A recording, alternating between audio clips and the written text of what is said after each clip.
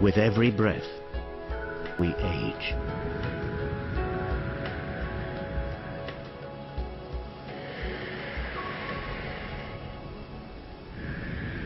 Life-giving oxygen is slowly killing us.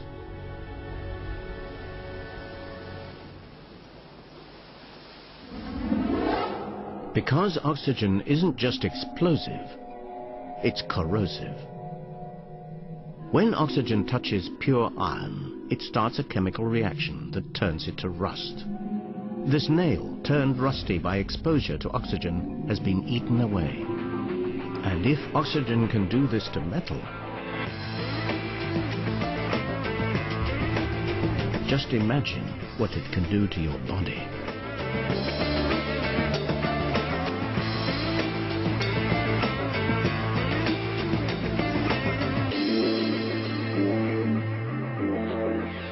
Seems almost unbelievable that we're sitting here in 20% oxygen, breathing it, depending on it, and yet that same oxygen inside our, inside our body is actually doing damage. It's like rusting us from the inside. If you think about it, the atmosphere should probably have a health warning. The trouble is that it's not just oxygen that's corrosive. So are its byproducts. Inside the mitochondria, most of the oxygen we breathe is transformed into life-giving energy. But not all. Some oxygen degrades into particles called free radicals.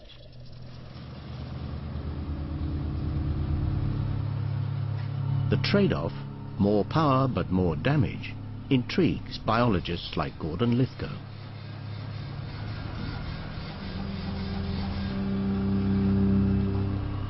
Mitochondria is really like an alien invader. It's, uh, it's a bit of a pact with the devil. We get from the mitochondria lots of cheap free energy, but also it's possible we get aging.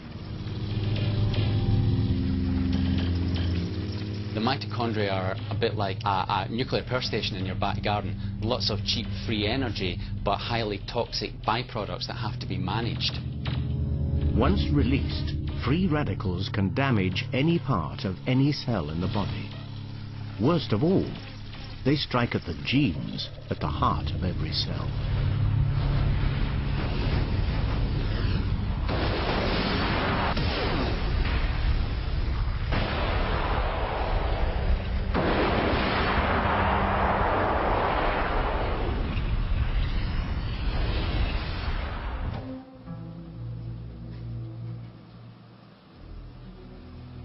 The brain is about 2% of the weight of the human body, but consumes about 20% of the oxygen. And we're all worried about the effects of dementia as we get older. And we do know that the brain cells are particularly susceptible to the toxic effects of oxygen. A young brain glows with huge numbers of mitochondria. But as time goes by, the free radicals produced by the enormous energy demands of the brain begin to kill the mitochondria. One by one, the batteries fail. And so does our brain. Memory becomes impaired, and thinking becomes confused. When we dissect brains, we can sometimes see those changes. Old brains show extensive signs of free radical damage. In some brains, like this one, the damage is greatest amongst the cells that control movement.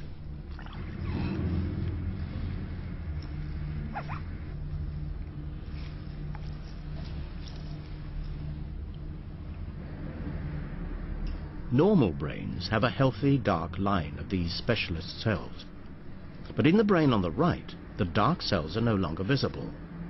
They have been destroyed by the Given that we know the effects of oxygen, it's not a surprise that we age or we grow old. What is surprising, though, is that we actually live so long and remain. The more you rush around, the more oxygen you need, and the more free radicals you produce.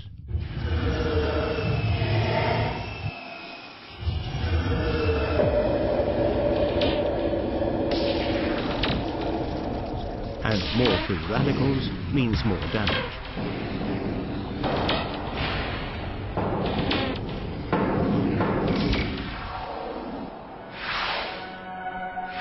If free radicals are the main reason why we age, then perhaps we should be looking at ways to reduce the